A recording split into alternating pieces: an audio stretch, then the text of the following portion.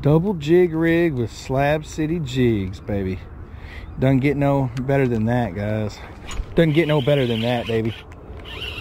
And that, oh, oh, Walker. This is a toad. It's gotta be. It's gotta be. Oh, it's a good one.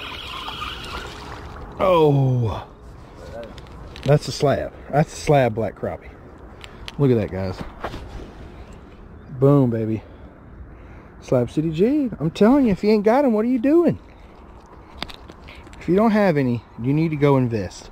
SlabCityJigs.com. Go ahead and get you some of those 903 Fishing signature series jigs right there, guys. They're going to put crappie in the boat just like that.